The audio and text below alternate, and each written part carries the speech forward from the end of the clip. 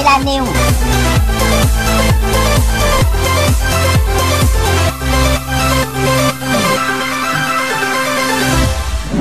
มากันที่งานเรื่องราวดีๆกันอีกแล้วล่ะค่ะสำหรับสาวๆ Miss Mimosa Queen Thailand 2019 นำทีมโดยคุณนิกกี้จิรโชตแก้วเสถียรพร้อม Miss Mimosa Queen Thailand พร้อมคณะผู้มีจิตเป็นกุศลที่ได้ร่วมกันมอบสิ่งของและของใช้ทางการแพทย์ เพื่อประโยชน์ในการรักษาผู้ป่วยโควิด -19 และผู้บริหารโครงการ Mimosa พัทยา ซึ่งงานนี้อะไรจะเป็นอย่างไรไปฟังกันเลยดีกว่าจ้า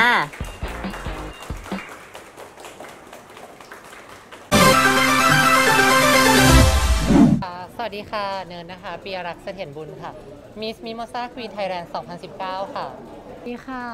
พีชพิมพาริมานิมิเกตสกุลนะคะ รองชนะเลิศอันดับที่ 2 Miss Mimosa Queen Thailand 2019 ค่ะ สวัสดีค่ะ แบงค์นะคะ นัชนาราคงพัฒนานนท์ค่ะ รองชนะเลิศอันดับหนึ่ง Miss Mimosa Queen Thailand 2019 ค่ะรอบวันนี้มาส่งมอบนะคะ อุปกรณ์ทางการแพทย์นะคะ ไม่ว่าจะเป็นแมส สเปรย์แอลกอฮอล์แล้วก็เจลแอลกอฮอล์นะคะ ให้กับ ทางโรงพยาบาลศิริราชนะคะ เพื่อเป็นขวัญและกำลังใจนะคะ ให้กับคุณหมอนะคะ ผ่านพ้นวิกฤตโควิด -19 ไปด้วยกันค่ะ ก็มีไปที่เชียงใหม่นะคะ ที่ว่าการอำเภอแม่แตงนะคะ โรงพยาบาลสันกำแพง แล้วก็ไปที่ที่ว่าการอำเภอลำปางนะคะ ก็คือไป 3 ที่เลยนะคะ จริงๆเราเราก็กำลังวางแผนนะคะ แต่ยังไงตอนนี้ขออุบไว้ก่อน อยากให้ติดตามนะคะ ยังไงก็ฝากติดตามเราด้วยนะคะ ที่หน้าเพจ Miss Mimosa Queen Thailand นะคะว่า เราสาวงาม Miss Mimosa เนี่ยจะไปทำภารกิจความดีที่ไหนนะคะสำหรับคอนเซปต์ในปีที่จะมาถึงนี้นะคะ ก็คือ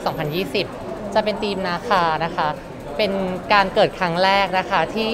จะมีการประกวดในทีมนาคาที่เป็นสาวประเภท2นะคะ แต่ยังคงไว้ซึ่งนางงามที่มีจิตสาธารณะอยู่นะคะ ก็สามารถติดต่อได้นะคะที่เพจ Miss Mimosa Queen Thailand 2019 นะคะ ไม่ว่าจะเป็นภารกิจในการทำความดีต่างๆ หลังจากต่อไปนี้นะคะ หรือจะเป็นการประกวดในปี 2020 ที่จะเกิดขึ้นถ้าถ้าถ้าไม่ผิดพลาดนะคะน่าจะเกิดขึ้นในประมาณเริ่มเริ่มรับสมัครในช่วงเดือนตุลา แต่ยังไงเพื่อความชัวร์ก็ขอให้ติดตามที่หน้าเพจนะคะ Facebook Miss Mimosa Queen Thailand นะคะค่ะก็สำหรับเนิร์สนะคะในฐานะตัวแทนของกองประกวด Miss Mimosa นะคะเนิร์สอยากจะเป็นกำลังใจให้ทุกๆคนนะคะ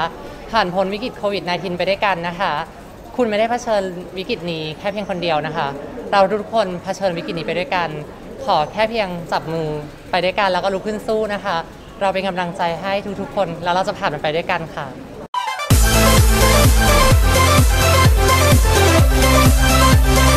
ชั้น8ไทยแลนด์นิว